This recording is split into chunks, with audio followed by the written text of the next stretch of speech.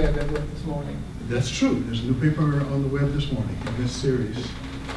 So, thank you, first of all, uh, Miriam and Ron, and my friend at the back of the room, Burt Ovrut, who I have not seen in I don't know how long. Once, I was in the middle of Siberia, and that guy met me at a small town called Tomsk, and I had come the easy way. I rode in on the Trans-Siberian Railroad. He came through China and the and uh, Kyrgyzia, Kazakhstan. 1894. Yeah. And so we met, and I was like, oh my God. So this guy is an amazing person. For those of you who don't know Burt, he is just an amazing man. So I'm so happy to see him. It's been a long time since I've been here. Okay, so um, I'm uh, Jim Gates. I, uh, as I was explaining to a group of students, I, I have a kind of cracked perception of things. I, I tend to see things a little bit differently from most of my colleagues. And so, uh, as a consequence, when I was a graduate student at MIT, I was the first person there who, oh my goodness, there's on your face. uh, I was the first person at MIT in uh, around the uh, 75, 76 period who realized that this idea called supersymmetry was going to be really important for the future. And as a consequence, uh, I tried to convince faculty and fellow graduate students that we ought to try to learn something about this. I totally failed. And so I wound up writing the uh, PhD thesis on supersymmetry. Half my PhD thesis, which I submitted and defended in 1977, is on the subject of what was then the new concept of supersymmetry. So I've been studying supersymmetry essentially all of my professional careers. The only thing really I ever wanted to understand deeply uh, in physics. Uh, I've been fortunate enough to get through general relativity and quantum field theory and covariant uh, perturbation theory and all those things and phase transitions and condensed matter. You know, you go through all that stuff in graduate school, but this was my passion. And so uh, when I uh, got my PhD, I defended it in 1977. I went off to Harvard to become a postdoc and a junior fellow at Harvard. Uh, I was there from 77 to 80. And just as I was ending my time uh, in 1980, uh, I got an invitation from John Schwarz to come out to Caltech. Because John was interested in super things in those days. This is before he invented superstring theory, but he was very interested in supersymmetry. And I had worked with a guy named Warren Siegel at Harvard, and we had produced some some, th some things that some people thought was really good stuff, and John was one of those people. And so there's this problem that he was trying to solve. Warren doesn't, I mean, most of you have never heard of my friend Warren Siegel, but Warren doesn't like to travel.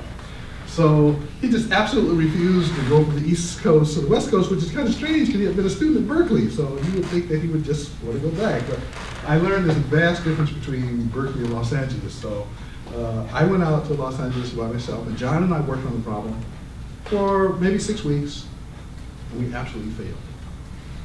And this particular problem has never been solved. And so um, I, uh, in the middle 90s, I was uh, already a tenured professor.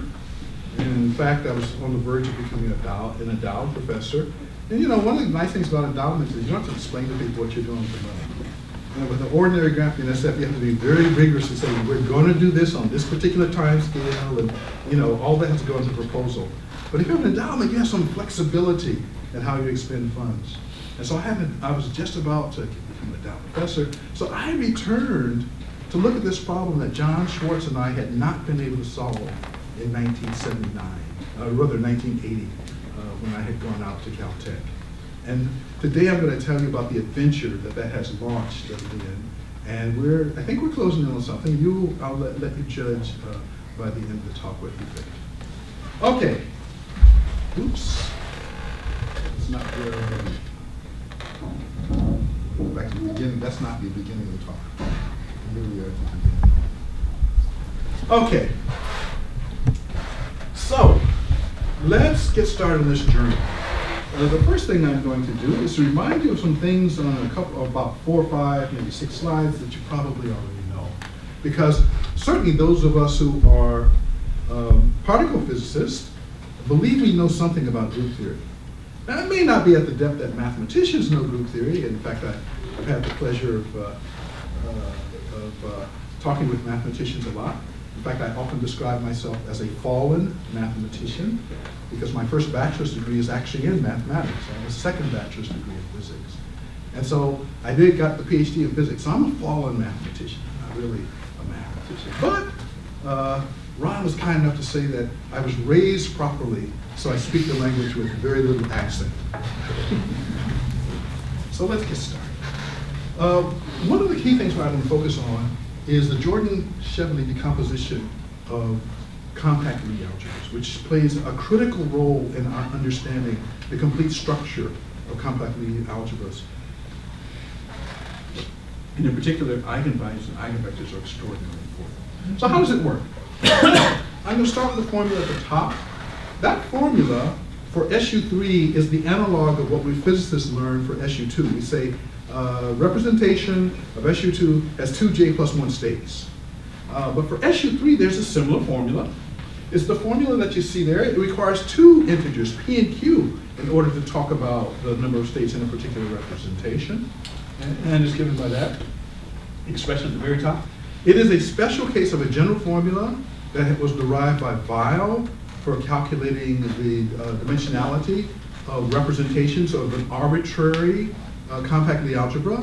It involves on the second line mu, which are the roots of the representation of the represent of the uh, group that you're talking about, and it involves uh, w h, which is the highest weight of the particular representation that you're looking at. If you translate that formula from what's on the second line to SU3 language, it looks like the formula on the first line. So how does it come about? Well, for SU3, we know there are eight generators. Uh, they have structure constants, which you can go look up in any textbook. And we know that by looking at the values of the structure constants, you can find a pair of the generators that commute to zero. And typically, we physicists call that the third component of isospin and the hypercharge. So we concentrate only on those two generators. In general, there is going to be n such generators for arbitrary complex group, compact group. And we ask the following question. For these generators that commute, what are the eigenvectors and the eigenvalues? And so for SU3, if you go through the exercise, you see what's in uh, right under my transparency where I have eigenvectors and eigenvalues. You find there are three eigenvectors uh, that depend on two eigenvalues, uh, and that's the end of the game. For the rather remaining generators, those that are not in the maximal commuting torus, because that's what that commutation relationship between T3 and T8 define, we combine them into complex pairs. Uh, and we physicists like to call these complex pairs raising and lowering operators. So that's the uh, Chevalley-Jordan decomposition of a compact Lie algebra, demonstrated explicitly on SU3, but it turns out all the uh, compact Lie algebras that Cartan ever found, including the exceptionals, have this kind of structure. And uh, these uh, raising and lowering operators are very interesting. The eigenvalues define points on a lattice, first of all. And the raising and lowering operators, you can think of them as generating motions along the points of the lattice. So what I've illustrated here are the motions that are generated by what we physicists like to call I spin, U spin, and V spin. Uh, I'm not sure if mathematicians have another name for these things, but that's how we talk about them. They generate motions around the lattice that defines a representation. And you can look at particular representations like the quark and the antiquarks, which I've illustrated on this slide. Um, the quarks have that integer p equal to 1, the q, integer q is equal to 0. The antiquarks are just the opposite. They have p equals 0 and q equal 1 is that dimensionality formula. We can look at more complicated representations, such as the octet, the joint representation of SU3, or the decuplet, which is in fact the representation that forced us physicists to begin to learn group theory uh, in the 50s. I say one shaking head because they know the story. Basically what happened was there was a conference at CERN and uh, the particles at this level had just been detected uh, at the conference, and it was a, just like we had the announcement of the Higgs boson a few years ago. There was a, such an announcement at CERN about the detection of these particles, which of the physicists, of course, are, I'm just the mathematicians, are just simply states in the representation. And uh, Murray Gell-Mann was in the audience uh, after at the end of the conference, and he he got up doing Q and A. At least this I wasn't there, so this is a story that I heard. Maybe someone can verify. And he said he made a prediction. he said, on the basis of the discovery of these two particles, I will predict that you will find another particle with very similar properties. And because these were experimental observations, you can look to see the mass gap here. And so for this final prediction, you know, he used that number and said, you'll find a particle with these properties at this mass level. A few months later, I believe it was, the omega minus particle was found, and that's when we particle physicists were forced to learn generally, not just SU2, because we had known SU2 because of spin, but in general, had to start learning about non-abelian uh, compact Lie algebras. And of course, the end of that story is the standard model with SU3 cross SU2 cross U1, which that whose structure is largely determined because we know the groups that underlie the symmetries that arise from the elementary particles. Uh, there are, other such representations. This is one that I'm not sure has a name, but this is the P equal Q, P equal seven, uh, Q equal three representation. It looks like that. And so the point is that when you have deep knowledge of the representation theory of a compact group, you can actually describe uh, general properties of the representations of that group on the basis of some very fundamental formulae, the roots and the weights. So those turn out to be the way to understand uh, representation theory if you're going to understand it at the level of Cartan. The other thing that comes along with this game is that we learn how to use young tableaus in order to describe these representations. And the young tableau, interestingly enough, can be understood as simply a set of boxes. We only need two rows for SU3 because there are only two community generators.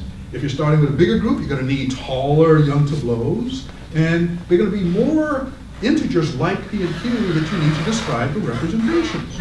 But for SU3, this suffices, and what P does is simply measure the length of the longest box in the representation, and then uh, Q measures the box under that. And only two such rows, and so you're done in specifying representations uh, for SU3. And if you know how to use what's called the Hooke's law, which allows you to calculate the dimensionality of representations, you'll find you'll go through Hooke's law for this. You'll be able to calculate the representations of any corresponding figure that has a Young tableau. That's understanding representation theory at its deepest level.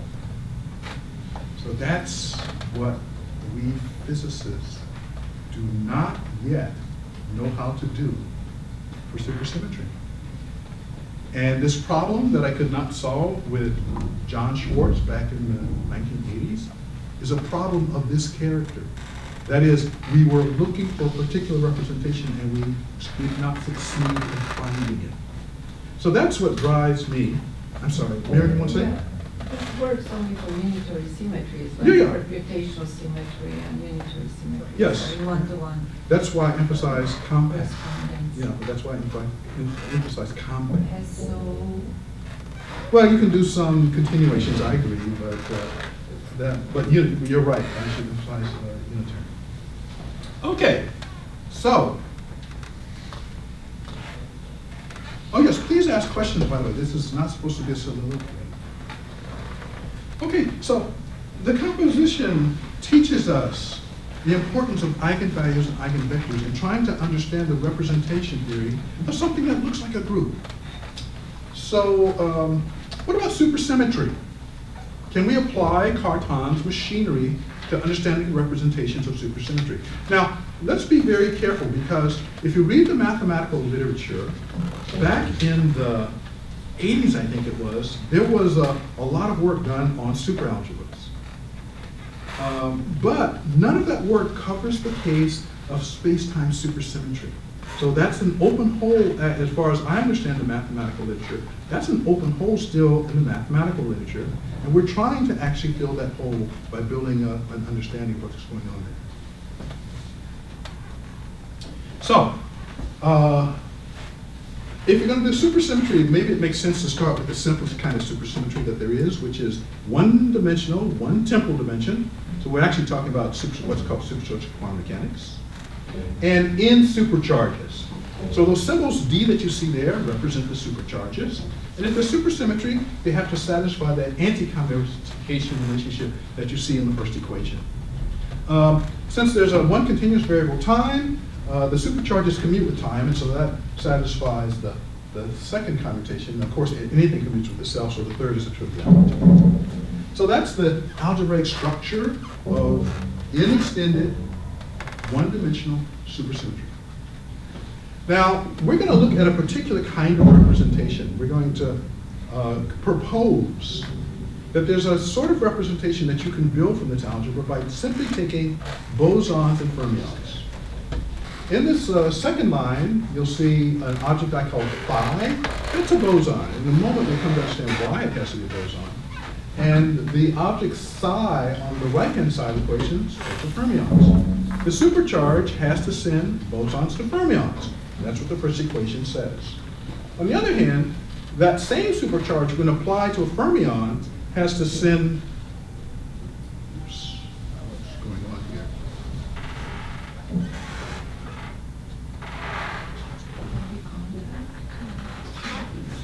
Sure, what? Just contact. You think this? this?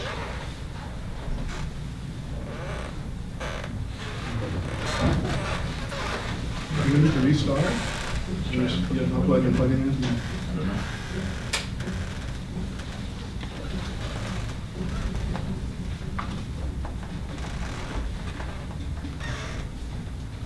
That's really weird.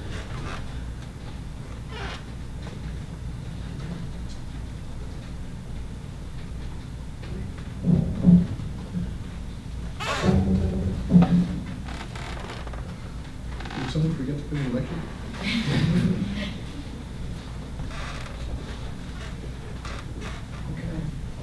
Oh, we're, we're making progress, okay. Hopefully, yeah. they're trying to-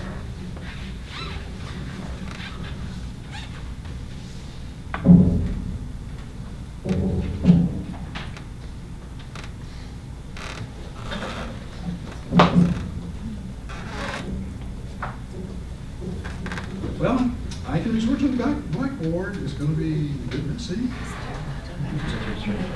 Yeah, I know, this is so weird, I've never really quite seen it. Uh, Okay, so it's the contact to my machine. It's a cable. Yeah. These are my story, I can get the cursor.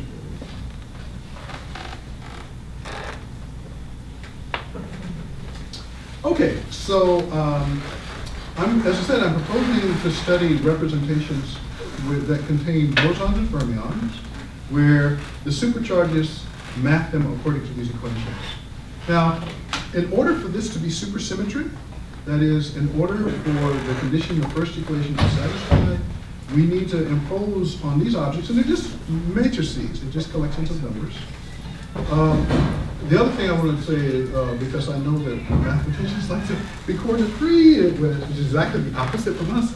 Uh, So the index I runs from one to n, it counts the number of uh, supercharges. The index uh, lowercase i runs from one to d, it counts the number of fermion, of bosons I have in the system. And the index k hat in this equation also runs from one to d, it counts the numbers of fermions I have in the system.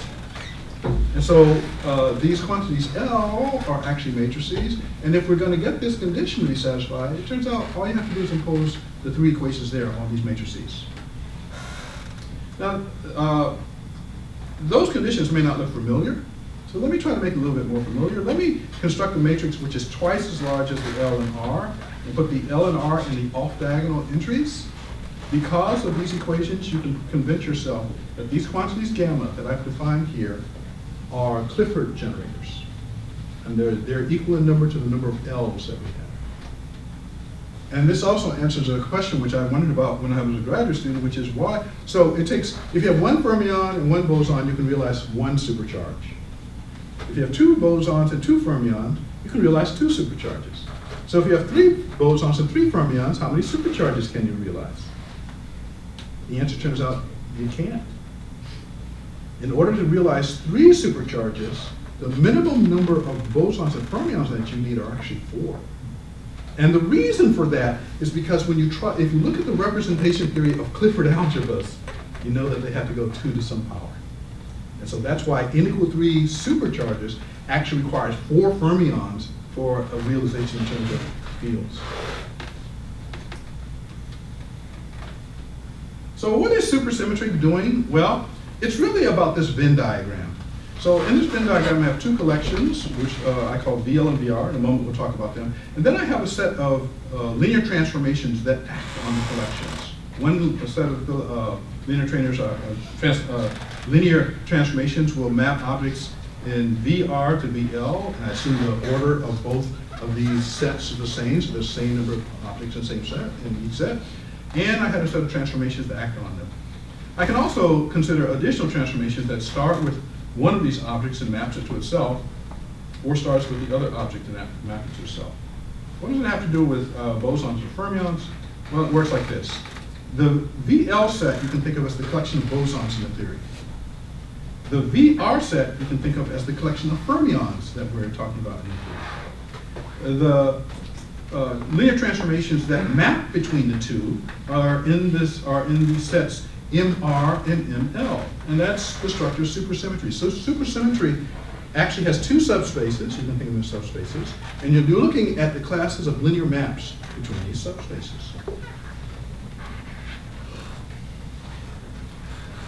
So, question: How would you try to repeat Cartan's or the Jordan Chevalley Chevalley Jordan decomposition on a set of transformations that sit in those two upper sets of transformations that I showed you, the ones that are mapping between different subspaces. The notion of an eigenvector makes no sense. Because for an eigenvector, you have to have a, some object, you transform it, and then the transformed object has to be compared back to the initial object that you start from. But if you're mapping between two spaces, that condition is never satisfied. And that's the reason why ordinary uh, Jordan, Chevalley Jordan decomposition doesn't buy you anything in trying to understand the representations of a supersymmetry. What could you do? Well, it's the anti-commutator of the supercharges that are defined by the action group. You can say instead of considering commutators, let, I'm sorry, anti-commutators, let me consider commutators. So take a super theory, apply the supercharges twice, but don't do the usual calculation that has to close on P. Do the opposite calculation where you change the sign. Because of the way we've chosen these representations, it turns out that what you'll find is that you get this result, namely that the two of the supercharges will in fact come back to this subspace of supercharges. It will come back with a time derivative, but nonetheless it comes back to that space. And if you do a Fourier transform, that time derivative is simply just thought about as a factor of p. And therefore, it begins to look like the kind of eigenvalue condition that you can try to find solutions for. So if you're going to build some kind of representation theory for supersymmetry, yeah, it's not the generators of supersymmetry themselves that will define the representation theory. It's got to be at least a quadratic product, because that's the first time you see things that look like eigenvectors and eigenvalues that are available to you. And of course, it's the same thing for the fermions. You have to apply two of these things. And so you get two other sets of matrices. We call them U and tilde. We give them strange names because we like to give strange names in our papers, so people wonder why we're doing that. And in terms of the Venn diagram, what we can see is that the V, uh, the V's without the tildes lie in the space where you're mapping from the left space back to itself. The V tildes are looking at the map where you're taking VR and mapping elements back into that space.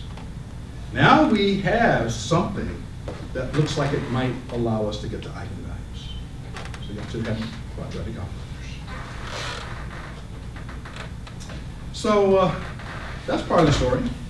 In uh, 2006, working with one of uh, one of Burke's uh, colleagues, a guy named Michael Faux, we started thinking about a graphical representation for supersymmetry because we knew all kinds of graphical representations for compactly operated unitary groups. So could you construct such a thing? And in this paper with Michael, we succeeded in proving that you could. At least we started the process. The complete proofs didn't evolve until I started working much more closely with mathematicians, Charles Doran, Chuck Iga, and Greg Landweber. And I also worked with my physicist colleague, uh, Tristan Hübsch, who's done a lot of works on uh, Calabi-Yau manifolds. So what we found was, we thought rather interesting. Namely, that if you start with a square and decorate it, it allows you to get to representations of supersymmetry. How does the decoration work? Well, you have to put two classes of vertices in the diagram. That represents the bosons and fermions. There are two classes of particles, the VL and VR set. The lines in the square represent the orbits under the action of the supercharges. And then uh, we just say all parallel lines get the same color. What that's doing is specifying which value of capital I we're talking about. Is it the first supercharge, or is it the second supercharge, or the third supercharge, what have you. And then the final rule, well, then the- there's another rule which says that you have to put a dashing on every square face of such a figure. And this dashing is a minus sign. So by decorating this graph, which technically for people who know graph theory, this is a bipartite regular graph that we're looking with. And we're defining various decorations that go on both the links and on the nodes. And then the final rule is you can't have in your graph two, a boson and a fermion at the same height. Because height turns out to be important. Height is an, uh, is a, um, uh, is an alternate way to talk about the engineering dimensions of these objects. Because in physics, we know that you have to have engineering dimensions associated with field variables. And so no boson can have the same engineering dimension uh, as a fermion unless you're doing some kind of weird construct, uh, but if you do the simplest constructs, it won't work. So this figure that I have here can yield two what objects that we call adinkras. And it's these adinkras that allow us to get to um, supersymmetry. Because what they are doing is they are graphical representations of the topology of the supercharges acting on the representation. So it's actually a topological object that we're looking at. So when we say square, we're not talking about something with the geometry of a square. We're talking about something that has the connections of a square. So we don't really care if you distort this figure, as long as you keep those properties in mind. And then finally, as I mentioned earlier, height is significant in here. Now, in a moment, I'm going to show you how to turn these pictures into sets of differential equations. But the height of the nodes actually determine various factors in the differential equations. And so, um, in this particular, comparing these class of, of diagrams, I can say this is at the b equal one level, this is at the b equal two level, and this is at the b equal three level. And we use the symbol b to recognize some work done by uh, Tom Banchoff, who was a mathematician at Brown. And at the, in the 1970s, he introduced uh, discrete Morse, uh, Morse functions on two-dimensional oriented tri triangular meshes. And for physicists, what this means is take a diagram and im- imagine that it has a charge value associated. That's the b equal one, b equal two, b equal three. And yet, uh, if you take the approach that, uh, that Tom took, you actually are talking about Morse functions. In fact, my colleague, uh, Charles Doran, is currently incorporating the presence of Morse functions in adinkras. In fact, the adinkras are starting to reach over into algebraic geometry very powerfully through the work that, uh, that uh, Charles and uh, some of his collaborators are pushing these days. So, why are adinkras so magical? Well, because they can do this. You see, if you, it's like Feynman graphs. If you know the Feynman rules for Feynman graphs, you can go from the picture to a set of equations. That's what works here also. So how does it work? Let's go through this example pretty quickly. So this node, I'm going to give a name to. I'll call it phi. I'll call the upper node f. I'll call the two middle nodes psi 1 and psi 2. Now you'll notice that, um, that uh, the red line connects phi to psi 1. So remember, I told you that the lines are actually the orbits of the generators. And so what this tells us is that the first supercharge acting on the function phi connects to the first fermion psi 1. The second uh, charge, uh, supercharge acting on phi connects to psi 2, but the fact that it has a dashed line means that it has a minus sign compared to the transformation off first. So that's the significance of putting dashes in the. There's a way to put minus signs in transformation. Uh, the second, the second, uh, I'm sorry, acting with D1 on psi 1, according to this equation, should be the time derivative of phi. So D1 is the red link connected to psi 1. It does indeed connect to phi, but when you look at the Banchoff index, it's negative this time. Whereas before you were going from something a lower Banchoff number to higher Banchoff number, this time you're going from higher Banchoff to lower. That forces, according to our rules, that you insert a time derivative. So that's where, that's how these things are actually incorporating the presence of time derivatives by taking into account type. And uh, so this picture, if you study it long enough, you learn how to extract Feynman-like rules from the diagrams of the differential equations and the states that they're acting on. Let's do, uh, once you know the transformation laws, you can actually construct an invariant under the supercharges. And this invariant, as Burt Sagan said, obviously, yes, this is the invariant for this system, the simplest invariant. There are many such invariants. This is the simplest invariant that you can write. What about the other figure that we looked at? Which, that one by, that we just went through, we call the diamond for obvious reasons. This one we call the bow tie. Uh, if you actually look at the transformation laws, they come out. Some of the time derivatives are in different places because when you apply things, instead of moving up, this time you move down, but when you move down, you insert time derivatives. So it controls where the time derivatives are occurring in the transformation laws. And you can furthermore go ahead and construct the invariant, which turns out to be this. So that's a super invariant for the bow tie. And if you compare the two invariants, you see they're almost exactly, the- well, they are exactly the same in the fermionic sector. In the bosonic sector, you have in the first case an auxiliary field, but in the second case, you have the time derivative of something that potentially is a dynamical field. And so, Adinkras have this very peculiar property of taking what we normally call auxiliary fields in supersymmetry, and depending on where you place the height of that node associated with auxiliary field, the auxiliary field might become a propagating field. And so it's a symmetry that ties together this thing that we had always thought about in supersymmetry as being two classes of bosons that occur in a theory. One final thing before we leave this is that if you look at those superinvariants, uh, in particular, if you look at the fermionic sectors, for those of you uh, who are not used to thinking about uh, anti-commuting quantities, uh, the second third term, sorry, third and fourth term on each of these lines looks like it might be a total derivative. Because if you use the ordinary rules of calculus, the time, the derivative of x squared is x dx. And that's what that looks like, those, uh, those third and fourth terms in each line. And so, they teach us very something very important about supersymmetry. Namely, if those are the invariants, then necessarily the bosons are part of what mathematicians would call a commuting ring of the functions. But the fermions are form an anti-commuting ring. Because if they are an anti-commuting ring, you can show, well, if they were a commuting ring, that set of equations would be valid, that equation would be valid, but that would say that it's a time derivative of psi squared, but it's inside of an action formula. It's therefore a surface term, therefore you have no dynamical evolution at all for the fermions. And so fermions necessarily are elements of an anti-commuting ring. Notice there's no spin in this argument. Because normally, uh, certainly when I first learned about spinors, I always thought that fermions had something to do with the fact that they were double-coupled representations of the Lorentz group. There is no Lorentz group here.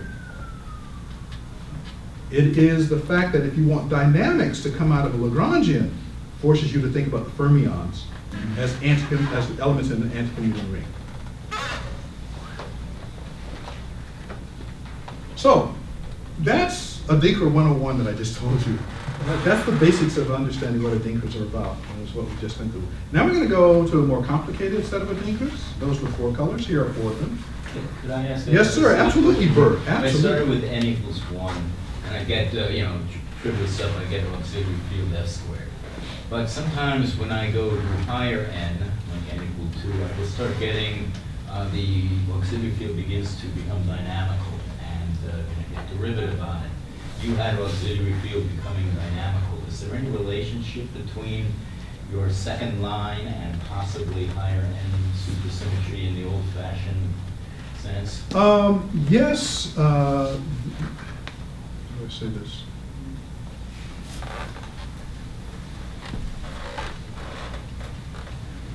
It is certainly true that if I write a higher derivative, in the old set theory days, if I write a higher derivative action for the fields of a supermultiplet, the auxiliary fields then indeed become propagating.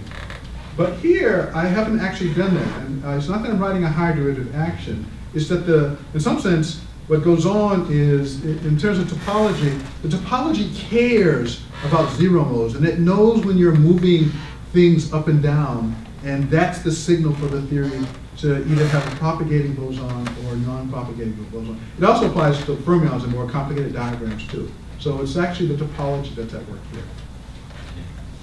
Okay, so here are three of these diagrams, but this time with four colors. Now, all of these things actually started from a very interesting source. They started from the hypercube in four dimensions, where we applied the same rules before. Square faces, uh, even odd, even odd. Every square face has to have an odd number of dashings on it, and parallel lines get the same color. And then we actually did one other process where we took the resulting dia- diagram and identified subcells and said that one is actually a reflection of the other. So we, we're just keeping the original cell, as not the reflection. So it's a, it's kind of a modding out that we're doing here of the hypercube. Uh, as Chuck would tell you, we use a block linear code to uh, mod out the, um, uh, the four-dimensional hypercube to get these things. So here's three examples. So you look at them, they look pretty similar. And one of the things that's really interesting is, yeah, they are pretty similar looking. And so when we first got these sorts of things, and I did this in some work with uh, a bunch of undergraduates, in fact, I'm going to mention most of my research I'm talking about is even done with undergraduates. Um, you look at these things, you say, well, okay, they're the same or different with respect to what? How can I tell if these things are this representing the same supermultiplet or some different supermultiplet? So at this point, let me tell you about a little bit more mathematics. There's something called the Coxeter group, BC4, which is the, one way to think about BC4 is that it is the collection of all signed permutations acting on four objects. Um, It has, uh, because it's permutations, it means it's four factorial permutations. You put in uh, plus and minus sign for each one, so that's a factor of two to four. That comes from 384 different elements in BC4. So BC4 is a well-understood structure in mathematics, at least that's what I've been told. And uh, what's really interesting that we discovered a couple of years ago, working with uh, uh, one of my graduate students actually, was that BC4 can be thought of as the union of 96 disjoint quartet, uh, elements that have each have four, I'm sorry, set, subsets that have each four elements in them. In discussion with uh, Ron today, uh, he was happy with this when we finally said that this leads to uh, the Coxeter group crossed with a Coxeter group modded out by the Klein 4 group. That's the last thing he wrote on the board. So these things, as I said, are, you can find remnants of these structures in mathematical literature. And when you uh, take this representation, it turns out that there are 36,864 different diagrams that satisfy our rules for constructing adinkras with four colors and four nodes, open nodes and four closed nodes. And in fact, I have a colleague named Yan Zhang, who's actually figured out this number for arbitrary adinkras with n colors and d nodes and d number nodes. And they're very interesting combinatorial problems that arise in this structure. And Yan is one of the people who've actually been studying it in some fairly uh, great depth. So regarding the four colors has to do with four. It has to do with four superchargers, because I'm ultimately, I'm trying to, gonna try to loop back to four dimensions. four. Yep, so in, one- in four dimensions, in order to have a spinorial supercharge, there are four components to the supercharge. And so that's why four color becomes relevant. But the reason I was getting at that, if it's given for any number of colors at some point, right, uh, You mean the SO thirty-two problem? Well, it turns out in one so it turns out in one dimension, supersymmetry is actually much more forgiving than it is in higher dimensions. And in fact, there is no limit on the number of colors. Uh, we, um, so one of the first things, so I, in 2010, I was on sabbatical uh, at MIT, and that's when I first met Yan, who was a graduate student of Richard Stanley, uh, the combinatorialist uh, at MIT. And one of the things that we had, uh, we physicists had wondered about is could we do this construction for any hypercube, no matter how big? Because there could have been, in fact, something that stops you from doing it. And so one of the uh, problems that Yan actually solved was to prove that the, in particular, the rule that says every square face has to have an odd number of colors, because, I'm sorry, odd numbers of dashings, that one could have failed dramatically. And yet we need that rule in order to get adinkras. He constructed a proof show that it never fails. There's something like a potential obstruction that's not there. So, uh, yeah, we can go for, it was a little bit of a surprise, but yeah, we can go on in this way for arbitrary numbers of superchargers. So, back to this question about when are these pictures the same or different? This is a discussion I've been, I was having with my mathematical colleagues for the entire time we worked on this. And so, in a paper that I wrote with uh, Vincent Rodgers and uh, who was a student of uh, Professor Balachandran at uh, Syracuse some years ago, uh, we showed that um, that when you look at these objects, there are interesting functions on pairs of them that map to the real numbers. We call these things gadgets. So uh, if you take, so the R's in these are two of these diagrams of the 36,864. I don't care which two you pick. They have a set of matrices associated with them, which in the language of graph theory are the adjacency matrices with some decoration. And so now, if you, uh, these things we call the V's, which I showed you to get by taking commutators of supercharges instead of anti-commutators, for each representation you can calculate a V. And it's a matrix. And so therefore, you can take two of them for two different representations, which you see on the far right-hand side of that, take a trace over that, and then sum over the colors. That factor in front is a normalization factor. And what you find is that this map, which we call the first gadget, has some very interesting color properties. So let me tell you about the properties. There are 36,864 of these objects in this space. So you might say, when you take the overlap of these matrices, which are calculated from these objects, you might expect a sort of substantial number of answers.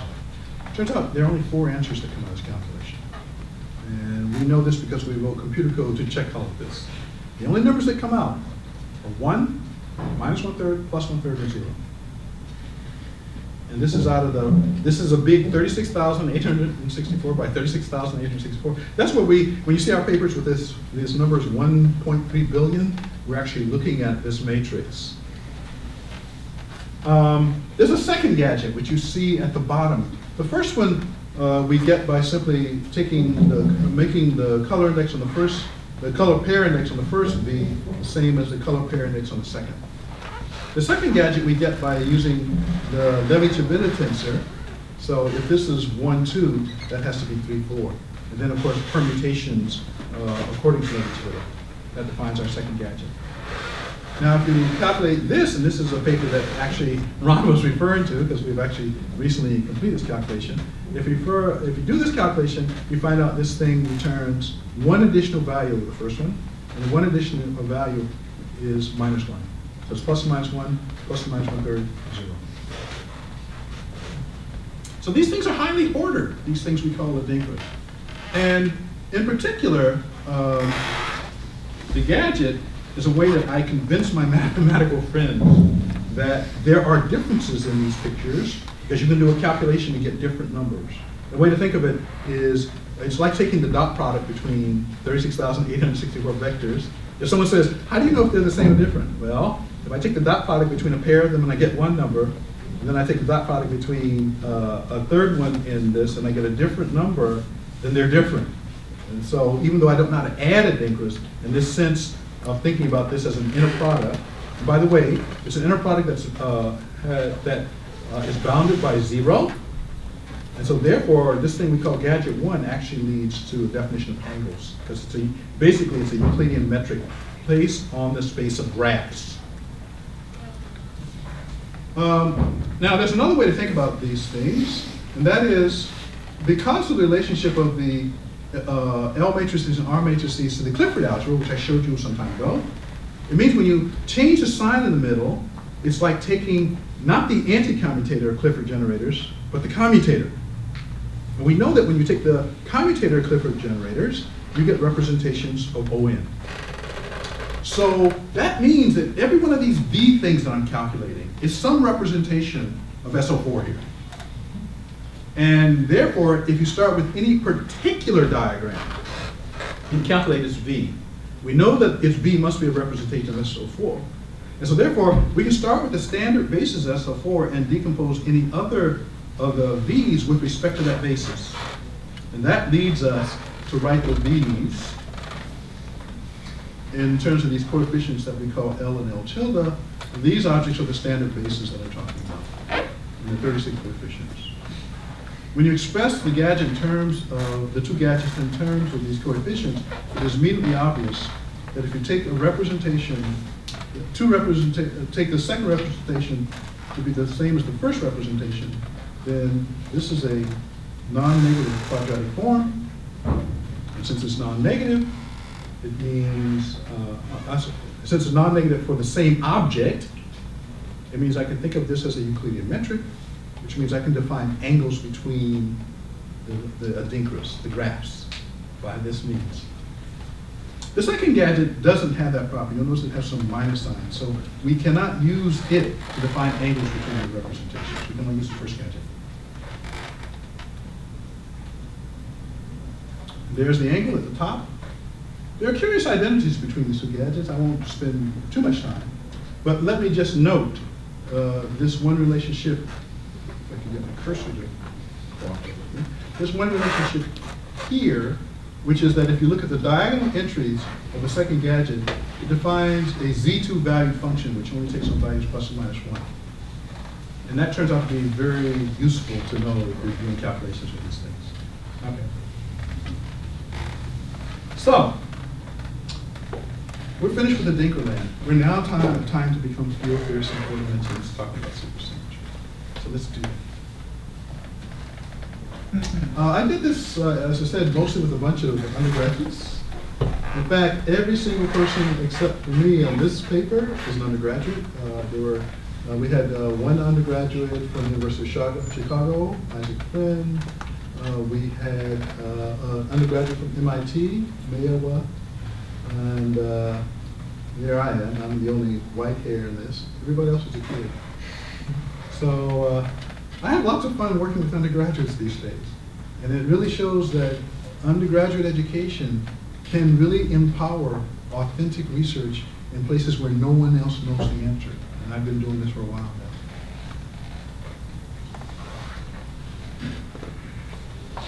And this is a second such paper. Oops.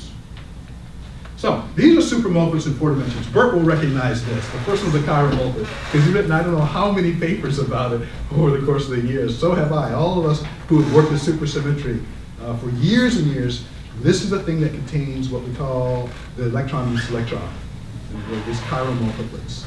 The middle multiplet a vector multiplet. It's a multi supermultiplet that contains, for example, the photon or any of the spin one force carriers of the standard model. Uh, it's accompanied by a set of objects that we call, this is a photon, that's the photino. If this were an SU3 uh, W plus minus Z, then this, these are the Winos that are associated with that and the Zino. And so these are the multiplets that people who build the standard model, these are their building blocks for constructing the standard model. And then this final multiplet I've written down here is something that was first discovered by my friend Warren Siegel. It's uh, got a couple of different names. It's called the linear multiplet by a lot of people. And in string theory, if you're talking about a string theory that includes gravity, this supermultiplet always shows up because it's the dilaton multiplet. But the, we're not doing string theory. We're just looking at representation of supersymmetry, but this is another representation of supersymmetry, well known.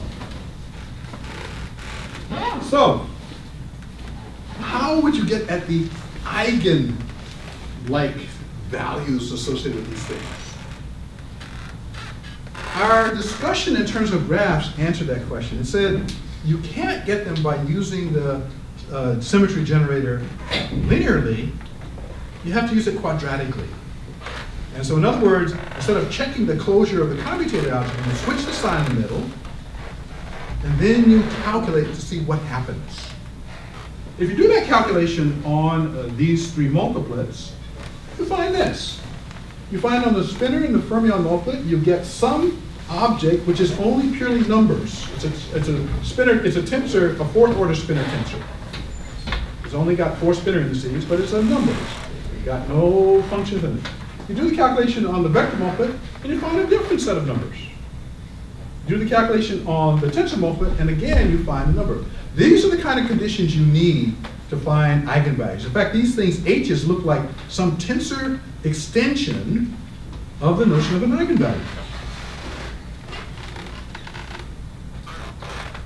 And so, if you actually calculate those objects for each multiplet, you find that it takes a uniform form, given by this expression here, where P, Q, R, and S are integers. For each of those multiplets, this is all that happens. The rest of this stuff is got to do with Fierzing, the kind of stuff that Burt is an expert at. You do have these stupid Fierz identities all over the place, and everything else here has to do with those. But the important thing is, there's a lattice structure here. And lattices are what you need to do something like representation theory like. So you calculate them and you find out that the numbers for each of the multiplets is given here. Now remember, this knows nothing about a Dayquist. This is all just in four dimensions, the kind of calculation, like I said, me and Burt have been doing for 30 or 40 years, but we're changing the signs of the supercharges as we're, uh, instead of checking the closure, we're changing the sign between the. And you just get this stuff out. Now, this is very interesting uh, because of this lattice structure. It means I can think of these representations as sitting at the vertices of a, of a, of a tetrahedron. Because the numbers that you see in the parentheses are just taken from that table that I showed you. You think of them as coordinates in Euclidean space. And in other words, points that sit on a lattice. Now, um, you'll, uh, you'll say, well, is that really the case? Let me show you one more thing. So it turns out that what's really going on is the following. The vector and tensor multiplet are the ones that are sitting at these vertices. These other objects are the parity duals. Because if you start, for example, with the vector multiplet, the spin one field in the multiplet is a vector. There is another the supersymmetrical theory where that spin one field is replaced by an axial vector. So I call that the parity dual of the first. If you start with the chiral multiplet, it turns out it is its own parity dual. Because in the chiral multiplet, if you look at the propagating scalar, uh, the spin zero degrees, there's a scalar and a pseudoscalar. So you do a parity transformation on that, and you still get a scalar and a pseudoscalar. And so, uh, so I added the parity duals here, and then finally, the multiplet actually sits up in this space uh, orthogonal to the, because it's a four-dimensional space, so you can think of the multiplet as being the apex of a vertex. These things begin to have the smell of, of and weight space. That's what we're exposing. Uh, the way you get this from four to, uh, down to one dimensions is a process where you just take the four-dimensional theory and uh, reduce it along a single uh, constant line in the four-like cone. You might as well take that line to, to lie on the temporal axis, because you can always Lorentz transform it to the temporal axis. So take your four-dimensional theory, get uh, set all by hand, set the coordinates equal to zero, and therefore their derivatives equal zero, and keep only temporal derivatives. And at the end of the process, you're going to get a set of equations. Those equations are these. So that I purposely actually at the beginning just picked the three that came from the projection from the four-dimensional theory. So the theory projects. So how much information is in here? Because it's really interesting that I know how to distinguish. So I've been working on that, and that's where these Boolean calculation papers come in. They're coming up in my talk pretty quickly, thank goodness. Uh, the latest one, which Ron was kind enough to mention, is here. And what we uh, did over the entire billion calculations uh, by computer algorithm is calculate the value of these overlaps. They're, uh, like I said, they're 36,864 by 36,864 matrices. Calculate every entry in them. Uh, what we're showing here, uh, oh, we often work on what we call the small library, which is if you, in my discussion, I talk about BC4, how it naturally leads to a set of Dayquist. If you work just with BC4, you'll find it's a 96, 96 matrix. We often run tests in that small subcell to see if we're understanding the structures of what's going on before we take the leap into these big numbers. Uh, since so few food values come out, earlier today Ron said there has got to be a nice mathematical way to figure out why only these numbers occur, and I agree with him. So if anybody in the audience is motivated enough to try to figure out why only these numbers occur, I'd love to, to have that discussion with you. So this is derived the computer code? Yes. By actual, sit down, take the graph, calculate its V's, calculate the overlaps, see what comes out of the. So, one thing about this process is since so, the numbers are so large, you don't really want to write matrices with numbers. So one way you can, you can get around that is uh, by assigning pixel values. So the number minus one will assign pixel value blue, minus one third red. Zero will have zero pixel value. Uh, plus one third will be black, and plus one will be green. And if you do that over the 96 by 96 library, you get this. We didn't put this there, this is just the output. And you shouldn't, for those of you who are thinking somehow that we're becoming proselytizers for some religion, we're not doing that because if you ordered the library in a different order, you would have a different picture. This just happened to be the picture with the set of choices that we made that came out. And yes, it's true that we finished this just before Christmas. So this is the first gadget. If you look at the second gadget, it looks like this. If you look at, let me go back to the first one. There's something interesting about the first one. It has no factors of minus one, so there are no black pixels in that. Second gadget has lots of minus ones. And this is again of the small library. In fact, the number of minus ones of uh, the second gadget is equal to the number of plus ones. The number of minus one thirds is equal to plus the number of one thirds in the small gadget. Yes, sir. Is there a way, is there something special that you know about the ones that are sort of above the red? Uh, Again, this is just give the computer a code and let it calculate. In fact, but you raise a very interesting question. It's, I mean, it's about how you're numbering the graphs. That's, the chart. yeah, that's what's determining the actuals, how we're deciding to order the, and that's an arbitrary order. That's why I say you should assign no special significance to these figures, except that they are a way to actually look at these overlap matrices uh, in a way that's kind of accessible to your brain, because our visual computing power far exceeds what we do with other things in our brains.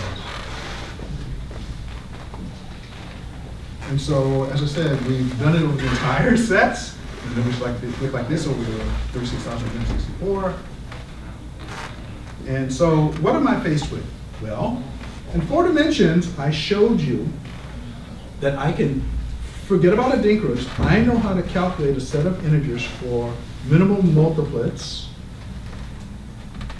In one dimensions, I know how to calculate overlap. So how, so the question is, if you start in one dimension, can you make the trip back?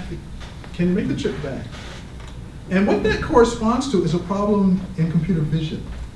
You see, in four dimensions, those, that tetrahedral pyramid thing that I showed you, that is some object in four-dimensional root space, not uh, configuration space. It casts a shadow down into the world of one-dimensional networks. This is a computer vision problem. This is a, this is a, um, the other word they have for it, uh, shape recognition problem. Whether you can cast a particular shape. Because if you can cast the shape, it means that yes, there was a way to get back up. So I'm, I don't understand yet the details of what's, what are the rules on this uh, shadow casting, but we are now in the realm of saying, I gotta now talk to people who are specialists in computer vision to figure out something about representation of supersymmetry. Thank you.